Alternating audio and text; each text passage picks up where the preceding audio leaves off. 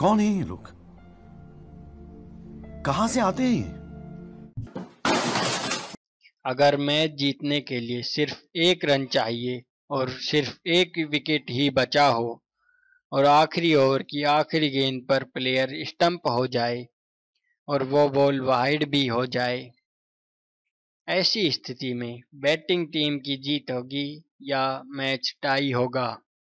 जवाब सोचने के लिए आपके पास 10 सेकंड का समय है।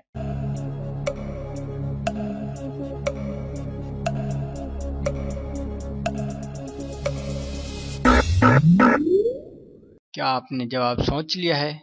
तो आइए देखते हैं कि इसका जवाब क्या है। उत्तर है, पहले बॉल वाहिड होगी, फिर स्टंपिंग होगी। इस प्रकार वाइड होने से एक रन मिलेगा और बैटिंग टीम की जीत होगी। खत्म।